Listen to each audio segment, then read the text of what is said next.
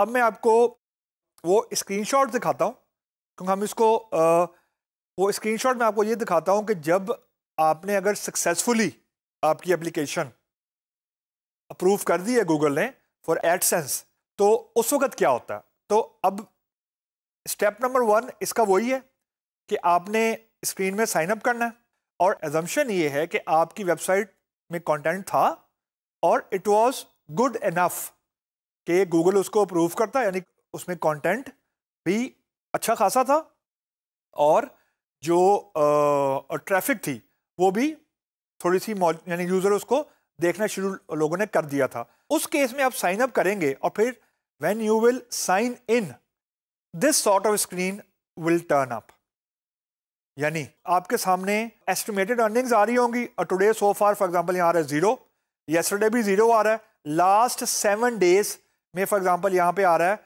zero point zero three last twenty days में वो कह रहा है पॉइंट टू डाउन हुआ है and if we go to the left extreme left पे अगर जाएँ तो ये आपको अभी तक की फाइनलाइज्ड अर्निंग दिखा रहा है twenty eight point eight four USD एक बात याद रखें कि गूगल एडसेंस आपके पैसे जितने भी एकोमोडेट होते जाते हैं, जब तक हंड्रेड डॉलर नहीं होते they won't pay you they won't pay you उनका मिनिमम बेंच मार्क है कि हंड्रेड डॉलर आपने अचीव करने हैं।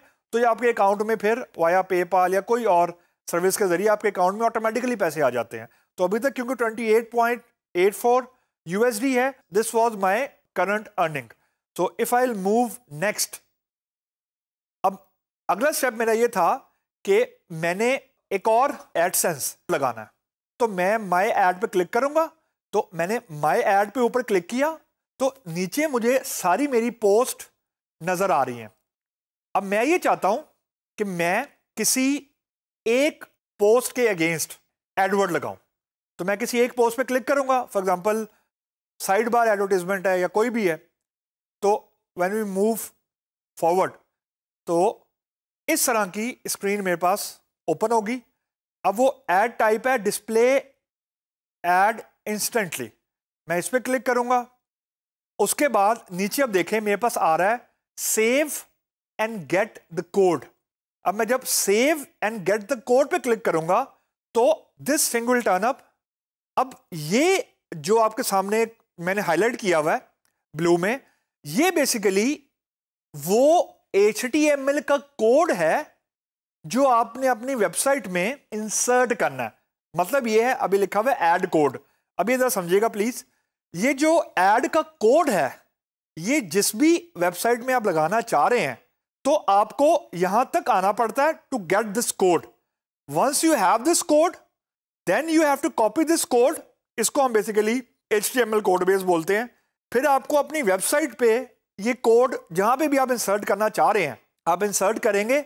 ये कोड इंसर्ट करने के बाद आपकी जो वेबसाइट है, उस पर रेलिवेंट एडवर्ड आना शुरू हो जाएँगे। व्हाट डज इट मीन कि जो आपने वेबसाइट सबमिट करवाई थी एडवर्ड में एडवर्ड को रजिस्टर करवाते वक्त, उसमें जो भी कंटेंट आ रहा है, इस कोड को अपनी उस वेबसाइट में या वेब पेज में कह लें इंसर्ट करने के बाद आपको एडवर्ड नज़र आना शुरू हो जाएँगे।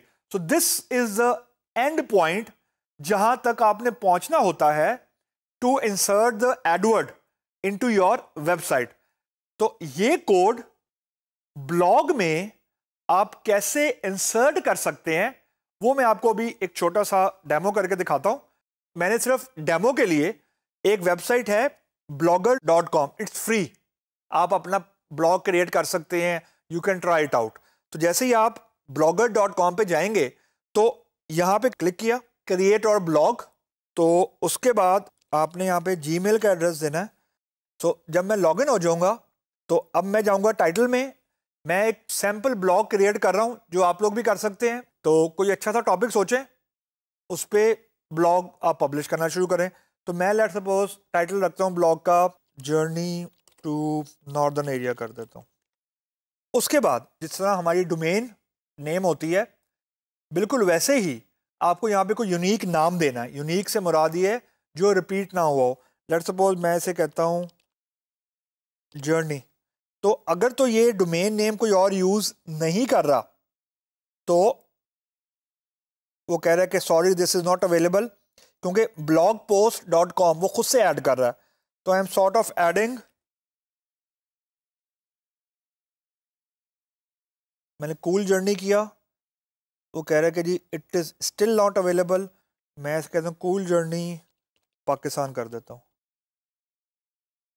अब वो चेक कर रहा है और वो कह रहे जी ओके दिस इज़ अवेलेबल तो I mean this will very कभी कोई डोमेन अवेलेबल होगी, कभी कोई नहीं होगी तो इट विल हैपन उसके बाद मुझे थीम सेलेक्ट करना है। इनमें से सोहो है कॉन्टेम्पो है एम्पोरियो है वाटर मार्क है। आप कोई भी सिलेक्ट कर सकते हैं। आप यहाँ देखें ट्रैवल भी बाई चांस आ रहा है। मैंने ट्रैवल पे क्लिक किया। तो this is the first step of creating my blog तो ये ब्लॉग क्रिएट हो गया। अब अगला स्टेप ये कि आपने ब्लॉग में आपने पोस्ट क्रिएट करनी है। लेट सपोज़ फॉर एग्जांपल मैंने कहीं ट्रैवल किया नॉर्दर्न एरिया में किया या आउटसाइड कंट्री किया और मैं अब लोगों से शेयर करना चाहता हूँ कि मेरे क्या एक्सपीरियंसेस हैं। कि अगर कोई और बंदा लेट सपोज़ मलेशिया जाना चाहता है अगर मैं वहाँ गया हूँ तो मैं उसे ये बता सकता हूँ कि यहाँ पे you you know know, desi food अच्छा कहाँ मिल सकता है? या अच्छे रेस्टोरेंट्स किधर हैं?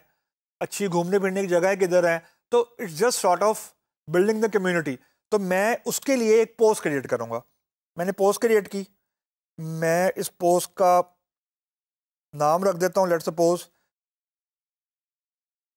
visit to for example के कुछ भी कर दें। और यहाँ मैंने कोई फॉर एग्जांपल अब इमेज इंसर्ट करना है। आप इमेज भी इंसर्ट कर सकते हैं, आप टेक्स्ट भी लिख सकते हैं। इट्स अप टू यू यहाँ पे मैंने एक सैंपल इमेज इंसर्ट कर दिया। अब ये बिल्कुल अब देखें, आपके पास ना माइक्रोसॉफ्ट वर्ड की तरह की चीज़ आ गई है। मैंने ऐड सेलेक्टेड कर दिया। तो अभी आपके पास इमेज आ गया। है and if you want to write something तो आप यहाँ पे राइट भी कर सकते हैं। First blog regarding trip to के आप कुछ भी कर सकते हैं।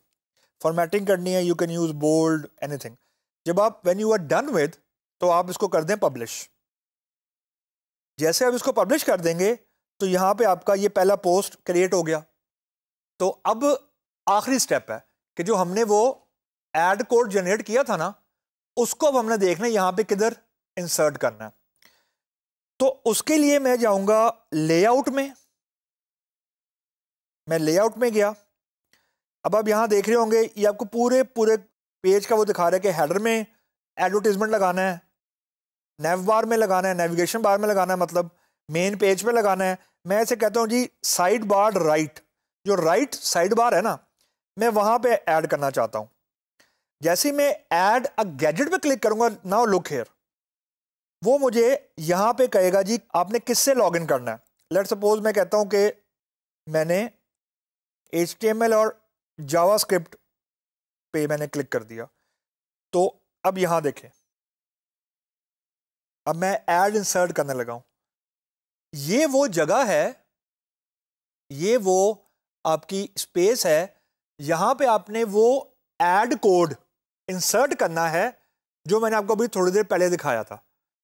ऑब्वियसली हम लोग इसको अभी लाइव नहीं कर सकते, क्योंकि as I said earlier you need some time तो वो एड कोड आप यहाँ इंसर्ट करेंगे, ख़त्म you are good to go आपका पहला ब्लॉग विद एड कोड वो पब्लिश हो जाएगा। अब उसके बाद सिर्फ़ ये काम है कि जैसे जैसे लोग आपकी वेबसाइट पे आना शुरू हो जाएँगे, आपके जो डॉलर अकाउंट है, वो ऑटोमेटिकली अब चल पड़ेगा। जितने क्लिक्स होंगे, उसके हिसाब से 68 परसेंट और 32 परसेंट के हिसाब से आपको उसकी अर्निंग स्टार्ट हो जाएगी automatically so this is what we called silent earning you are even you are sleeping फिर भी अगर कोई क्लिक कर देता है तो आपके अकाउंट में सेंट्स डॉलर आई जा रहे हैं। So this is one way of creating a blog and earn money